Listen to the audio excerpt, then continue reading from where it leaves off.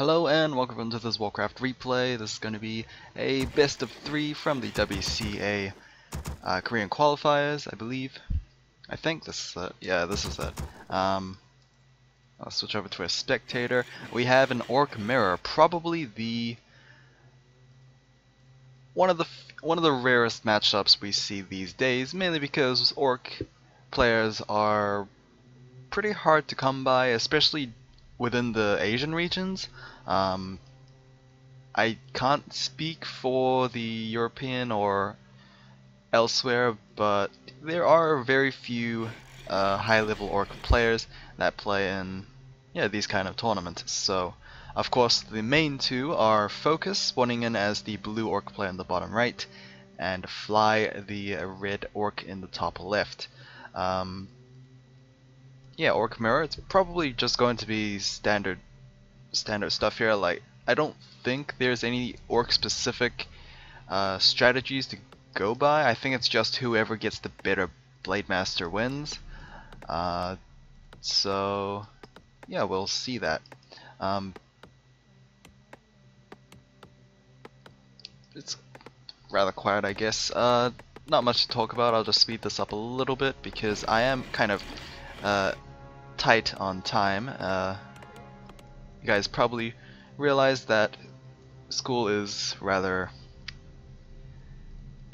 rather intensive on the workload, I think. Um, or am I just not, not be managing my time very well? But regardless, uh, having a tough time here. Blademaster out for Fly, and he should I don't know what he should be doing, honestly. Uh, he could go for harassment early on, but I don't think you would find much when harassing an orc, orc opponent, so it could just be selling that TP scroll, buying Circlet. He's actually going to pick up the dust as well, so I don't think uh, Focus will be able to pick that up himself. He will have to go over to the next merchant. I think Focus was trying to deny uh, Fly from those items. Oh, look at that. Uh, Focus could potentially get off a Windwalk strike there, but uh, since he is an item down, I don't think it is wise to do so. Stronghold tick for both players. It does seem like Fly got his a little earlier than his opponent. Focus might actually lose himself a peon there. And yes it will. First experience over two. Uh, Fly is a Blade Master.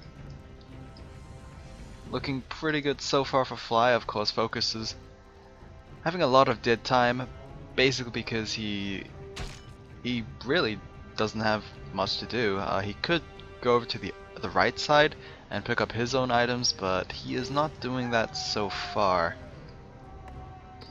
At least he's not engaging in too much combat with the opponent Blade Master. As I say that, he is taking quite a few hits. Uh, but that should be that. Nothing too exciting is really happening.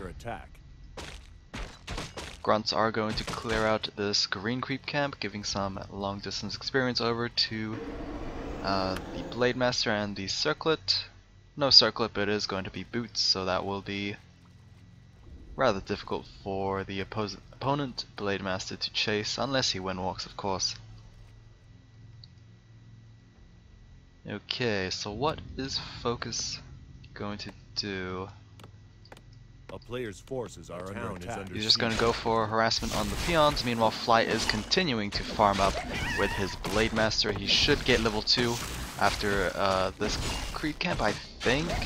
Uh, I don't know how much that early peon would have done, but here comes Focus with a good number of grunts here, and he is going to look try and kill off that Blademaster. Low hit point grunt right in the back. It might get killed off by the Blademaster, but the Gnoll is trying its best and it actually denies uh, the kill right there. So a little unlucky bad timing there from Fly.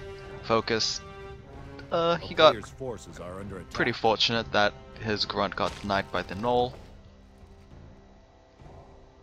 And Fly is going to have to back off, pick up a couple of Sal's because well, he, he dedicated some health to try and kill off that grunt, and sadly he didn't get rewarded with anything. This grunt might actually be picked off here for Focus, but Uh, he is making his way over to possibly a creep camp to deny himself, but uh, he is walking in the wrong direction, so that might not be the case. Overseer is going to be cleared out by Focus. That will give a huge boost in experience over to him. And he is pretty much one camp away from 2 as well. I know Fly is already level 2. He is taking out his own Overseer camp on his side. Oh, that was very close. Um, oh, he should not reveal himself. That is going to be so dangerous, but Focus does not have a dust. And that is going to be a a fast-fingered uh, Blade Master there. Of course, as soon as he saw that Blade Master, instantly went back into Windwalk. And that, I mean, if he Focus was a little earlier, he might have been able to pick that off, but ah, to no avail, I guess. Shadowhunter coming out for uh, Fly. It's been a while since we have seen the Shadowhunter. Uh, mainly we've been seeing Orc Night Elf matchups, so that pretty much encourages a lot more Tauren Chieftains than normal. So yeah, Shadowhunter will be coming out, most likely Hex start here. Should be Hex start. I mean, if he had Healing Wave, he would probably would have done it by now, and he will initiate with the Hex on the Ogre Magi. Blade Master is around from Focus. Will he be able to do much? I don't really know. I mean, he might be able to pick up a Trapper here, but he needs to be a little careful. Fly is the one with the dust, I think? No, actually. Uh, who has the dust? Oh, okay. Yeah, Fly does have the dust. It is on that Shadowhunter, but... Yeah, I don't know if the Master is going to pick up anything himself. That is not going to be the case. Tome Agility being dropped there. The Ogre Magi is left. Shadowhunter farming up himself to get those early levels, and the item is going to be the Talisman of Evasion over to the Shadowhunter. Pretty good when you're trying to uh, stay alive against the Blade Master, I guess. So that item will most likely be uh, be kept. And it should be the standard stuff here, Raiders, Spirit Walkers, and a couple of Kodos to add into the mix. I have no idea what actually got dropped here, but it was most likely a consumable item, nothing too nothing too exciting. Scroll of Protection gets picked up by the Shadowhunter, so that is an interesting buy. Uh, Focus definitely looking to, I guess, fight rather, rather soon. Or that might just be there just in case he gets caught out. Um, who knows? Early Kodo Beast for Fly. Focus, on the other hand, is currently Kodo Beast less, so yeah, he is waiting on that. Blademaster did pick up the Greater Healing Potion from this Magi camp, so that was a pretty good steal. I don't think he got uh, the actual experience, but the item is good enough anyway. Dust, uh, Scroll of Protection is going to be used, but Focus is going to choose to retreat. He's just using it to reduce the amount of damage he gets? No, he's going to continue on with the fight. Troll Warlord is still tossing his axes away, uh, currently picking his litter between the blue and the red team. Lots of windwalks here, and it seems like both players are just trading uh, their units. No, no clear focus fire on any of the heroes. It's pretty much just the raiders going down. And it is going to be focused, choosing to retreat here, and it seems like Spirit Walker, oh, is just going to go back into ethereal form, prevent that Blade Master from picking off when, with the Windwalk Strike. And yeah, that's not good for Focus at all. Uh, Fly, having a level 3 Blade Master seems like it is doing quite a lot. Having that 30 extra damage from the Windwalk level 2 is definitely a lot more helpful than uh, whatnot, I guess. And of course, having that Kodo Beast probably uh, did a good number on on Focus's units as well. As you can see here, a Grunt has been completely taken out of the game, as it has been devoured by uh, that Kodo Beast. And the Sobi Mask gets picked up by the Blade Master, transferred over to the Shadowhunter, so yep, always keeping up those hexes and healing waves. The Shadowhunter is going to be bring a lot more value than uh, Focus's own Shadowhunter, sadly.